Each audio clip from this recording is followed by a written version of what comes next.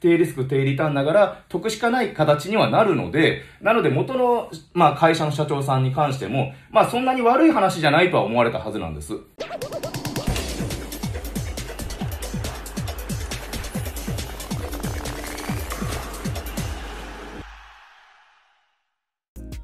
どうも、北川哲平です。えー、今日は2021年3月14日ですね、北川も出演させていただいている令和の虎の富山真由美さんっていう回で、え、北川自身が200万円出資させていただいたんで、え、その出資理由と、そのまあ、諸々のエピソードトークについて、えここで、この動画でお話できたらなっていうふうに思ってます。で、まさに今日はですね、えー、まあ、毎日ですね、令和の虎ってあの、18時ですね、6時、夕方の6時に、あの、配信されるんですけども、その、今回もですね、3分の3回目の動画を僕の方もちょっと見させていただいて、その後に急遽、えー、動画を収録させていただいてます。はい。えー、令和の虎で、えー、富山真由美さん、125番目の志願者として、えー、仲間と独立してリフォーム会社を作りたいということで、えー、300万円の投資または融資を希望されて、えー、挑戦されたという回でしたと。はい。で、出演されてた虎がですね、えー、北川自身と、あと新登場のヤン社長と、えー、トモハッピーとジョー社長と林社長が、えー、出られてたという回でしたと。はい。で、一応、まあ、要約しますと、まあ、こういうことなんですけども、あの、もともと、その富山さんという方が、え、住宅リフォーム会社の営業部に、営業事業部に勤務をされてたと。で、富山さんの事業部自体は黒字なんですけども、あの、その同じ会社で経営されてる飲食事業の方が、え、コロナの影響もあって、なかなかちょっと調子が悪いと。っていうこともあって、えー、一応事業部内のですね、もう事業部の中でも富山さん自体の営業成績はいいんですけども、他の事業部の方たちっていうのはそこまでの営業、営業成績がないからも、あの、ちょっと首を切りたいんで、まあリストラの勧告があったと。で、ただ、えー、リストラの勧告はあったんですけども、富山さん的には別に、あの、自分自身が取ってきた売り上げじゃなくて、まあ仲間全体で取ってきた売り上げだから、あのー、まあそんな首を切るなんてことしないでくれってことはお願いしてもなかなかそれが通らないことがあったので、もうそのな7名の方と一緒にもういっそのこと独立をしたいっていうような、えー、話でしたと。なのでその独立資金として300万円を、まあ投資または融資をしてくださいっていうような話でしたと。はい。で、まあ、これ自体はですね、えー、まあ、先ほどもちょっと言いましたけど、まあ、私だけの売り上げじゃないと。あの、まあ、社長さん自身もですね、元の勤務先の社長さん自身も、富山さんの営業力自体はもう要認められてて、その、富山さん、まあ、部長だったみたいですけども、その部長は残ってくれと。で、他の7名の方は、まあ、そこまで戦力になってないから、もうちょっと、まあ、退職させたいっていうようなことを言われてたと。はい。で、まあ、そうですね。まあ、そもそもがその事業部自体が赤字だったら、まあ、そうやって言われても仕方がないけど、その事業部自体で黒字になってて、で、ましてやチームで生んでる売り上げだから、まあそんな7名の方、それぞれも切らないでくれっていうような話は何度も直談判をされてたっていうことみたいです。で、あとはあの、まあ放送上は、やっぱりちょっとまあ内部な情報なので結構カットされてたんですけども、その数字についてとか、あの、そのリフォームのその施工内容とかですね、えー、もう実際の営業成績についても結構あの資料に基づいて、あの具体的な説明とかもいろいろあったんです。なのでまあそれらも含めて、えー、まあ結構黒字化できているような事業部ではあったってことなんですね。で、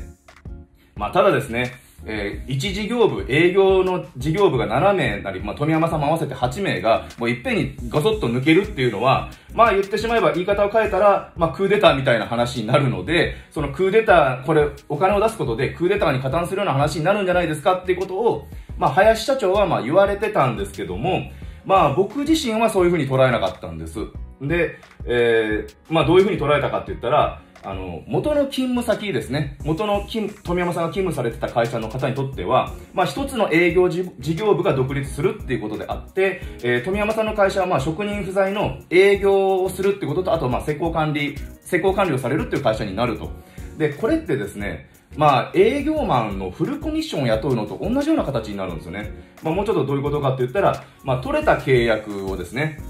その施工自体ですね、現場の施工自体を元の勤務先に回す形になるんだったら、これは、あの、事業部としてフルコミッションの営業マンみたいになったような形になるんで、あの、低リスク、低リターンながら、あの、得しかない形になるんですよ。わかりますかね？あの、まあ、営業事業部を、あの、会社内に抱えてると、まあ、言ったら赤字になったら、その7名の方があんまり戦力になってないっていうんだったら、その戦力になってない方のあの、そういったコストまで、会社が負担しなか、しないといけなかったものを、まあ、それが独立して、まあ、一、一企業として独立してもらう形になるんだったら、もう事業部としてフルコミッション、まあ、フルコミッションって言葉が、あの、ご存じない方もおられるかもしれないですけども、要は完全歩合制ですね。完全歩合制になるんで、独立採算の形になるんで、まあ、ましてやそ、れが、あのー、施工を元の会社に回してもらえるんだったら、言ったら利益が取れるじゃないですか。で、ましてやその営業コストがかからずに、取れた時だけまあ言ったらコストがかかるような形になるので、低リスク低リターンながら得しかない形にはなるので、なので元の、まあ会社の社長さんに関しても、まあそんなに悪い話じゃないとは思われたはずなんです。っていうことはまあ僕はまあ直感的にというかまあそうなのかなっていうふうに思ってましたと。で、まあましてやその人間関係自体がですね、まあ辞める形になって、まあトラブルになってたり揉めたりするとちょっとまあ嫌だなと思いましたけど、まあそれもまあどうやら揉めてなくて円満に退社ができるっていう形であるようなので、まあこれは大丈夫かなっていうふうには北川自身は考えてましたと。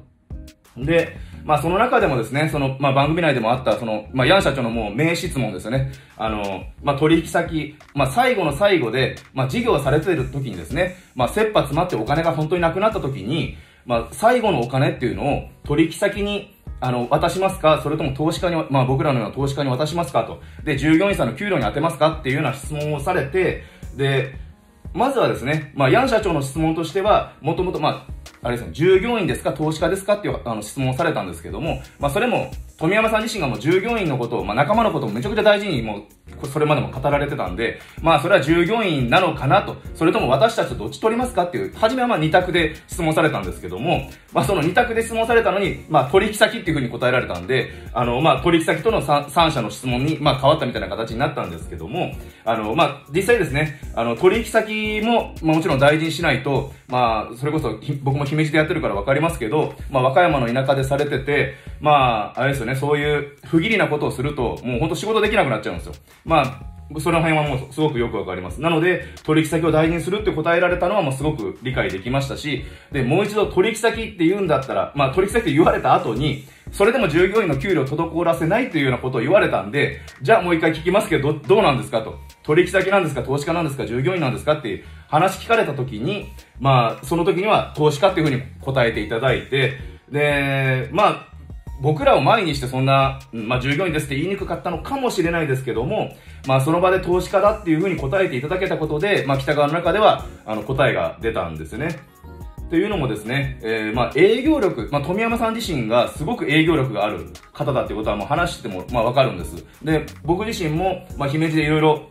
まあ、建設業の方だったり、あの、営業されてる方とかいろいろ、あの、接点持って、あの、人間関係、あの、持たせていただいてるんですけども、まあ、富山さん典型的なあの、営業ができる方だっていうのはちょっとわかるんですよね。で、同じような感じの方が姫路でも結構活躍されてる方何人か僕もしてたりして、そういう方たちと重なって聞いてたりもしたんです。で、まあ、その営業力っていうのは、最も重要な経営スキルであって、あの、人柄に起因する要素がすごく強いと思うんですよね。で、それがもう勉強してもなかなか身につき、身に身につきにくいものですね。本読んだからって営業力ってつかないんで、なので、まあ、ある程度、ある程度、まあ、先天的なものとかも、持って生まれたものも含めて、で、これまでの、あの、まあ、そういった人生経験も踏まえて、まあ、身につくものなので、なので、そういった営業力っていうのを富山さんはすごくお持ちの方だなと。で、まあ、実績もあるってことも証明していただいたので、まあ、まあ、この営業力っていうのは、まあ、すごく、あのー、まあ、身につけておられる。だから、経営をするには、まあ、すごく有利だなと。はい、これから事業されるにしても有利な、有利だろうなっていうふうには思ってましたと。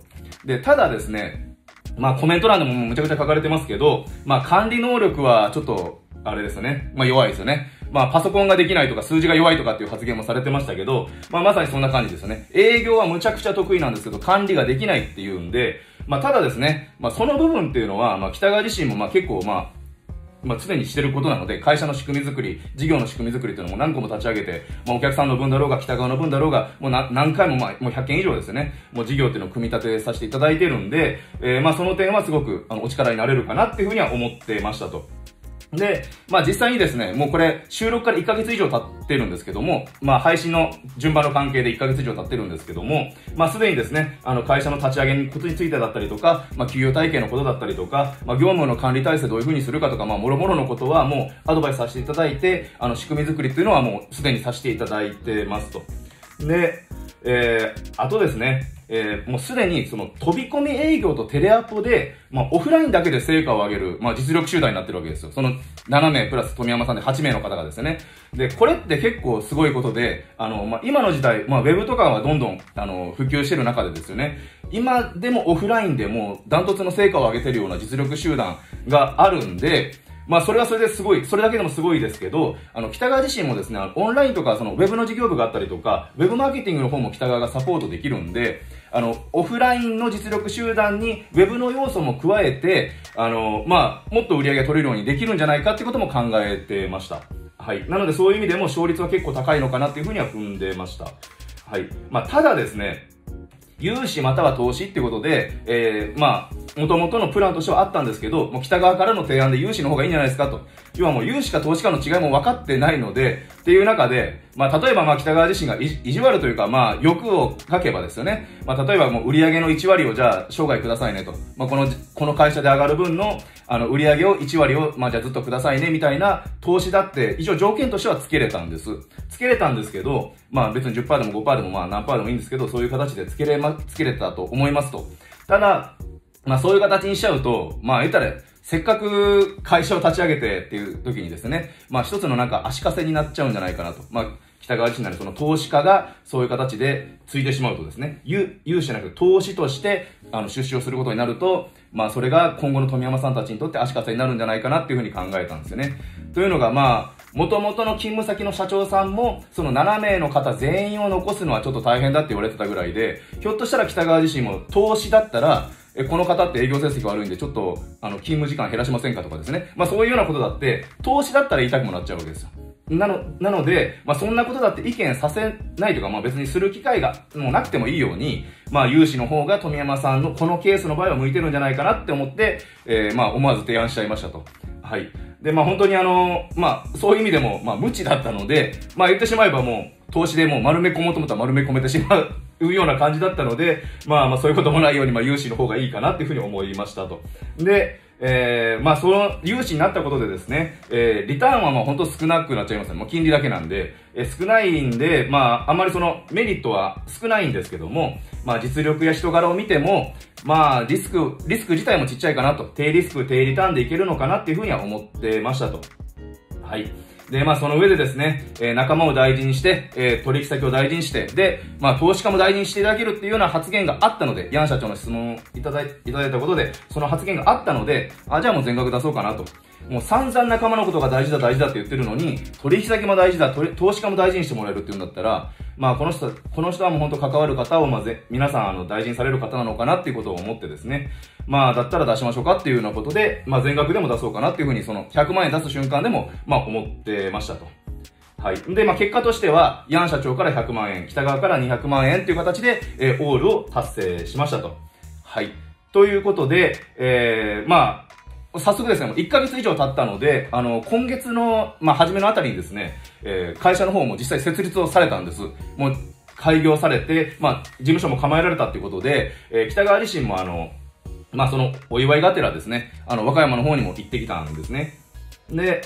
はい、あまあ、和歌山の、あれですね、まあ、行く時の電車がアドベンチャーワールド仕様になってましたっていうことと、あと、あれですね、まあ、前の動画でも、ちょっと何個か前の動画でも、あのー、まあ、ちょっと、あれですね、ロゴをちょっと白塗りにした状態で、えー、発表、発表というか投稿してましたけども、あの、ホームタウンという会社を立ち上げられて、えー、その分も、北川もレザーの事業やってるんで、そのロゴを入れたポスターを、はい、あの、プレゼントしましたよと。はい、お祝い金と一緒にプレゼントしましたよと。はい、ということで、まあ、こんな感じで、あの、ロゴ入れてコースター作れるんで、まあ、レザー姫路本陣で検索していただいたら、はい、お作りできますんで、はい、まあ、よかったらどうぞということと、